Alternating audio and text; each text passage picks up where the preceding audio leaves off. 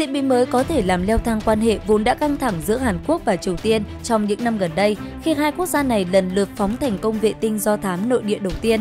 Cả hai bên đều có kế hoạch tiếp xúc phát triển và phóng vệ tinh vào không gian, gây lo ngại về nguy cơ xung đột và mở ra một mặt trận cạnh tranh mới, đó là lĩnh vực không gian.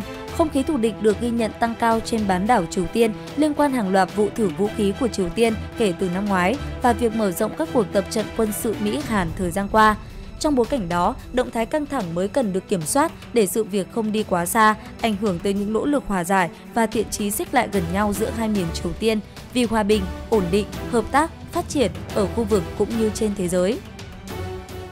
Xin chào quý vị và các bạn. Quý vị đang theo dõi chương trình cập nhật thông tin quốc tế mới nhất trên kênh YouTube của báo Người Lao động. Sau đây sẽ là nội dung chi tiết. Mời quý vị và các bạn đón xem nhà lãnh đạo Triều Tiên Kim Jong-un tuyên bố Bình Nhưỡng sẽ không ngần ngại tấn công hạt nhân khi bị đối phương khiêu khích bằng vũ khí hạt nhân.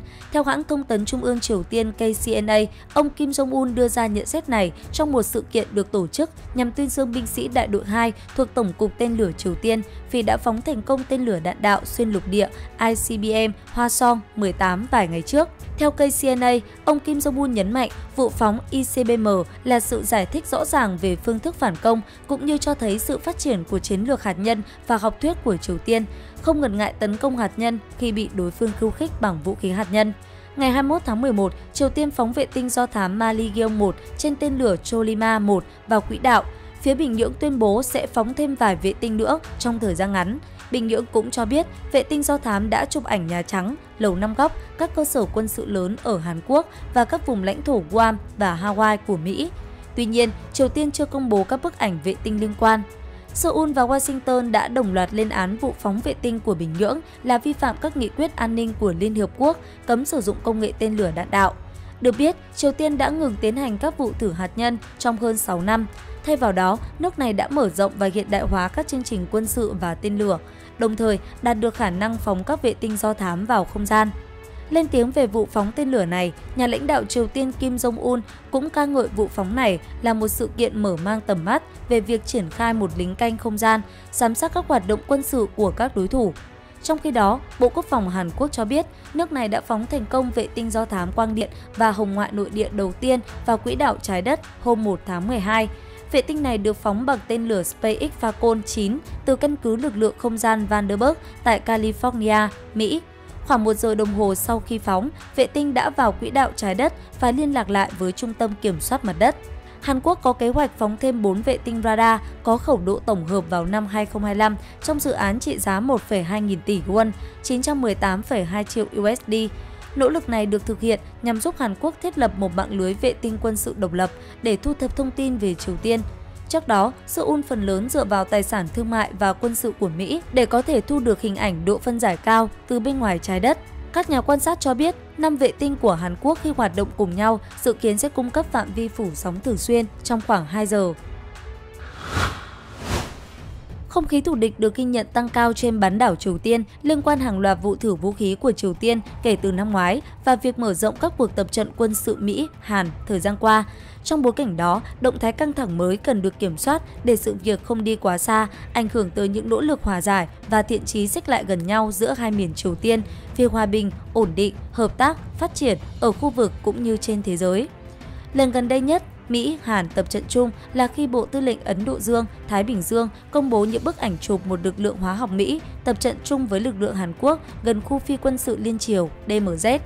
Theo hãng tin John Hap, các binh sĩ Mỹ từ đại đội hóa học, sinh học, phóng xạ, hạt nhân số 59 đã huấn luyện cùng với lực lượng Mỹ tại Hàn Quốc và quân đội Hàn Quốc gần DMZ để củng cố thế trận phòng thủ tổng hợp. Tuy nhiên, giới chức quân sự Hàn Quốc không nêu lịch trình cụ thể.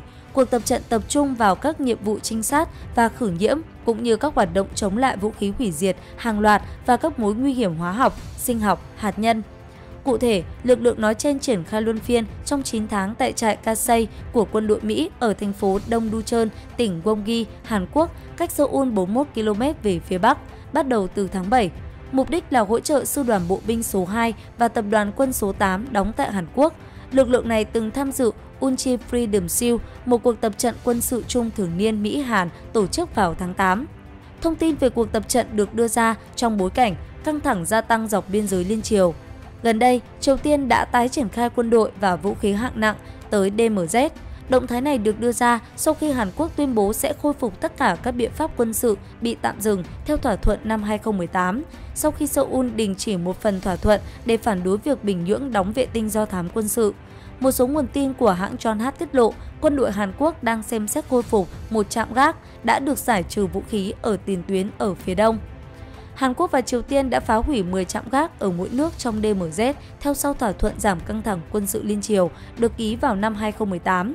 Đồng thời, mỗi bên giữ lại một trạm còn nguyên vẹn nhưng không có vũ khí do giá trị lịch sử của chúng. Quân đội Hàn Quốc cũng đang chuẩn bị trang bị cho các trạm giám sát tạm thời và vũ khí để đáp trả việc Triều Tiên tái điều động binh sĩ và vũ khí hạng nặng tại DMZ. Sự căng thẳng trên bán đảo Triều Tiên đã leo thang lên một bước mới khi cả Mỹ và Nga đã lên tiếng về những tình hình ở đây.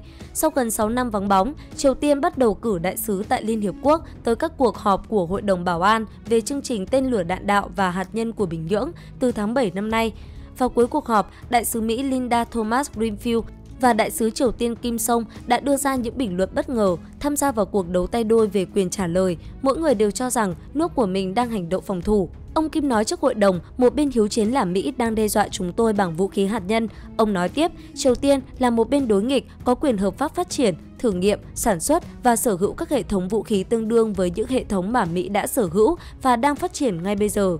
Trong khi đó, đại sứ Mỹ Thomas Greenfield nói, chúng tôi bác bỏ mạnh mẽ tuyên bố thiếu trung thực của Triều Tiên rằng các vụ phóng tên lửa của nước này chỉ mang tính chất phòng thủ nhằm đáp trả các cuộc tập trận song phương và ba bên của chúng tôi. Bà Thomas Greenfield nhấn mạnh, một lần nữa, tôi muốn bày tỏ một cách chân thành lời đề nghị đối thoại vô điều kiện của chúng tôi và Triều Tiên chỉ cần chấp nhận. Hãng tin Reuters đưa tin, Triều Tiên chịu các chế tài của Liên Hiệp Quốc về các chương trình tên lửa đạn đạo và hạt nhân kể từ năm 2006. Điều này bao gồm lệnh cấm phát triển tên lửa đạn đạo. Công nghệ như vậy đã được sử dụng để phóng vệ tinh vào tuần trước và diễn ra sau vụ thử nghiệm hàng chục tên lửa đạn đạo trong 20 tháng qua. Mỹ từ lâu cảnh báo rằng Bình Nhưỡng đã sẵn sàng thực hiện vụ thử hạt nhân lần thứ bảy các cuộc đàm phán phi hạt nhân hóa giữa Triều Tiên, Hàn Quốc, Trung Quốc, Mỹ, Nga và Nhật Bản bị đình trệ vào năm 2009. Các cuộc đàm phán giữa nhà lãnh đạo Triều Tiên Kim Jong-un và cựu Tổng thống Mỹ Donald Trump năm 2018 và 2019 cũng thất bại. Ông Kim khẳng định cho đến khi mối đe dọa quân sự dai dẳng được loại bỏ, Triều Tiên vẫn sẽ tiếp tục tăng cường năng lực của mình. Bà Thomas Greenfield nói rằng hành động của Triều Tiên dựa trên sự hoang tưởng về một cuộc tấn công có thể xảy ra của Mỹ. Bà Thomas Greenfield nêu rõ, nếu có bất cứ thứ gì Mỹ muốn cung cấp cho Triều Tiên thì đó là hỗ trợ nhân đạo cho người dân Triều Tiên, chứ không phải vũ khí để tiêu diệt người dân. Trong khi đó, Nga nói với Hàn Quốc rằng đừng ngạc nhiên nếu Moscow trả đũa sau khi Seoul mở rộng danh sách hàng hóa hạn chế xuất khẩu sang Nga. Trước đó, Hàn Quốc thông báo Seoul sẽ bổ sung hơn 600 loại hàng hóa có khả năng được sử dụng cho mục đích quân sự vào danh sách cấm hoặc hạn chế xuất khẩu sang Nga. Danh sách này bao gồm thiết bị xây dựng hạng nặng, pin sạc, linh kiện hàng không và một số ô tô. Người phát ngôn Bộ Ngoại giao Nga Maria Zakharova phát biểu trong một cuộc họp báo ngày 27 tháng 12. Đây là một động thái không thân thiện được thực hiện theo yêu cầu của Washington. Động thái này sẽ gây thiệt hại cho nền kinh tế và ngành công nghiệp của Hàn Quốc. Nga sẽ có những biện pháp đáp trả. Nhiều năm qua, Hội đồng Bảo an Liên Hiệp Quốc bị chia rẽ về cách ứng phó với Bình Nhưỡng. Nga và Trung Quốc, các cường quốc có quyền phủ quyết cùng với Mỹ, Anh và Pháp cho rằng bổ sung các biện pháp trừng phạt sẽ không giúp ích gì và muốn các biện pháp đó được nới lỏng. Trung Quốc và Nga cho rằng các cuộc tập trận chung của Mỹ và Hàn Quốc đã khiêu khích Bình Nhưỡng, trong khi Washington cáo buộc Bắc Kinh và Moscow khuyến khích Triều Tiên bằng cách bảo vệ nước này khỏi nhiều lệnh trừng phạt hơn. Thông tin nổi bật vừa rồi đã khép lại chương trình cập nhật thông tin quốc tế của chúng tôi.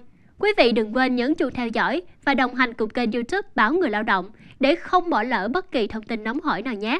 Xin kính chào tạm biệt và hẹn gặp lại.